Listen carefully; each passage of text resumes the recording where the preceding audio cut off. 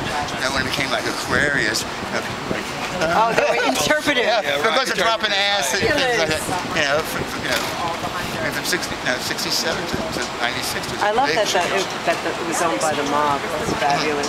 They were wonderful. I worked for them. I worked in the first gay bar that had a back room in New York uh, called the Zoo.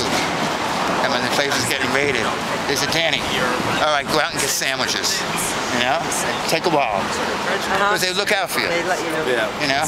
They don't, yeah. Well, yeah, because you know my partner's a teamster, and he always says, you know, when the mafia controlled everything, there was always work. Because if Yeah. there wasn't enough work in New York, they called Pennsylvania. Yeah. Said we need, Yeah. you know, and everybody worked. You- Usually, What happened? Like. Hello, darling.